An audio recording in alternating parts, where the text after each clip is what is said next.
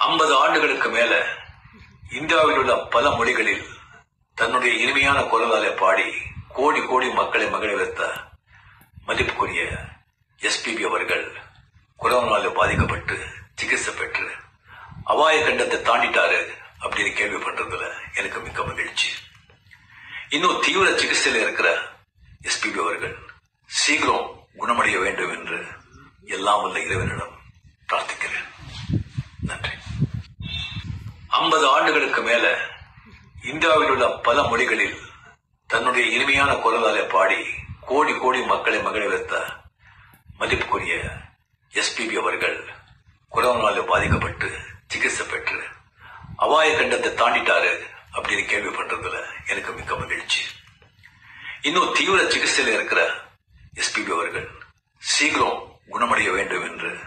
எல்லாம் உள்ள இறைவனிடம்